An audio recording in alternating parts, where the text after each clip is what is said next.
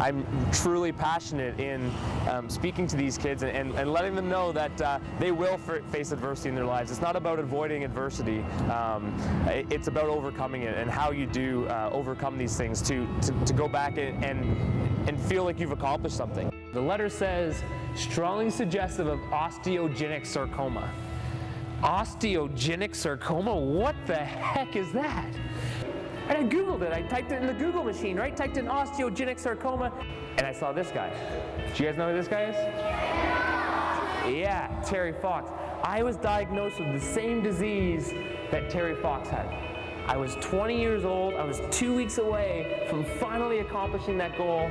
I have osteogenic sarcoma, the same disease Terry Fox had. I've used that uh, that experience to um, speak to kids about uh, overcoming some challenges in their lives. And one of the main things I, I really like to, to speak about is it's not, it doesn't have to be that large of a challenge. It doesn't have to be a, a cancer in your family. It doesn't have to be, um, you know, a huge piece of adversity in your life. We all face uh, different types of adversity. The things I, I talk about is, is, turning your passion into action. And um, I look at myself and I literally turned my passion into action. My passion was, was lacrosse at one point, and um, I turned that into a university degree. I turned it into a world championship. Um, and, and now my passion is sharing my story. But my mom mom gave me this book. As soon as I was diagnosed, she gave me this book, and you can't see it in this picture. That table that's right next to my bed, it was always sitting there the entire time. A little blue book, looked like this, and inside the book, she wanted me to write a diary. If you guys are familiar with Terry Fox's story, he wrote a diary every day. It's an unbelievable thing to read. I couldn't get myself to do it, so what I did with this book, and I still have it, I wrote my goals in it. Inside that book, I wrote, I will never for one day walk with a cane. Ever. That's what it says. I will never for one day walk with a cane, ever. The second thing I wrote down, he said I would never play lacrosse again. Very simply, I wrote, I will play lacrosse again.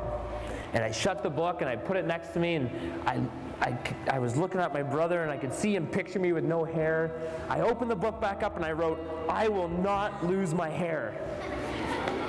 I lost my hair right away. I said, it's working, right? The chemotherapy is working. It's supposed to kill my hair. Hopefully it's killing the cancer as well. I challenge them to, uh, to set some goals and think about some of the challenges that they may have to overcome uh, in, in their lives. My brother called back and he said, call the coach from Team Canada. Your goal is not just to play lacrosse, it's to play for Team Canada. Call him, let him know that you're playing. And I said, hey coach, it's Kyle. I know where you live. We weren't going to kidnap the guy, don't worry. I just wanted him to listen to the message. And what Kevin did, he map quested from coach's, uh, coach's house to Schoellkopf Stadium. And the message went like this. I said, hey coach, it's Kyle. I know where you live. You have to leave your house at 8 o'clock in the morning. I will leave you four tickets. You can park there. I have to prove to you I'm good enough to play for your team. You have to come down and watch me play. There's nothing else I could do. I left this message. What else was I to do? The game goes by. We beat Princeton. One of the biggest celebrations I've ever been a part of. We run into the locker room to celebrate.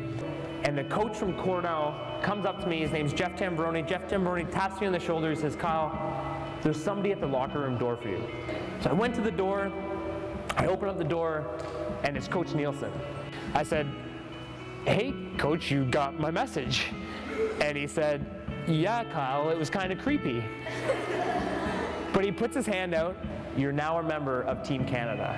I said, Coach, I'm so excited. I've worked so hard to finally accomplish this goal. I just want to jump on you and hug you and kiss you. I'm so excited. He jumps back like this. He's a great role model for everybody because he did a, he followed his dreams and his goals. He didn't give up on them even though he had cancer. It was very, very inspiring. I feel pretty um, thankful to him because he showed that if you keep trying, you'll always make it.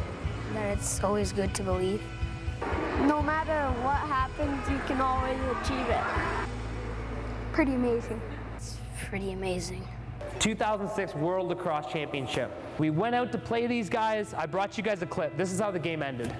Possession perhaps for the Americans. The shot, the save by Miller. And that should do it.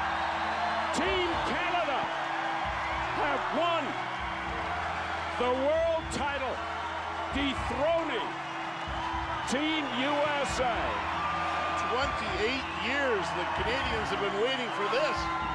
28 long years since Dan Conklin scored the goal in Stockport, England.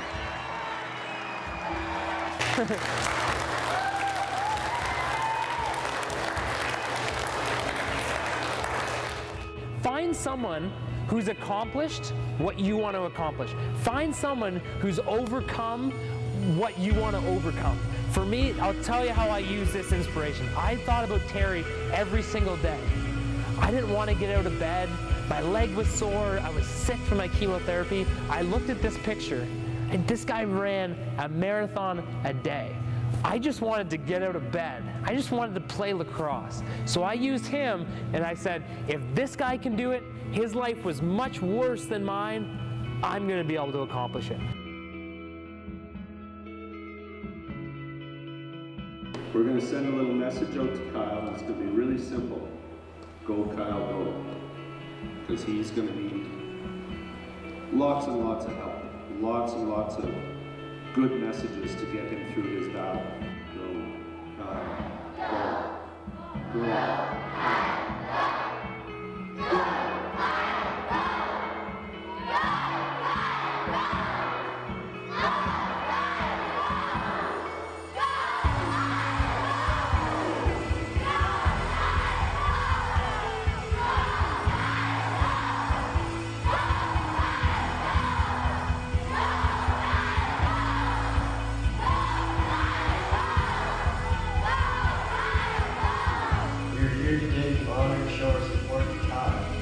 He recently has rejoined his fight for can- uh, against cancer, this time in his lungs.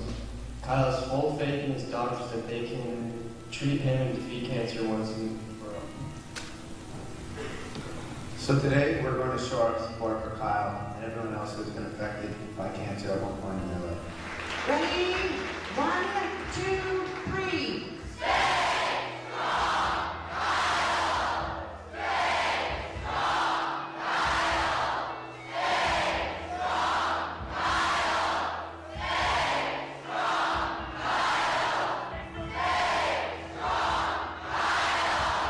Kids Can Day is a, uh, an opportunity for kids in the community to meet the athletes of, uh, of the different sports and, and come and, and learn that sport. For these kids to get that opportunity, you know, and, and learn a new sport, kind of open their eyes to, uh, to what else is out there.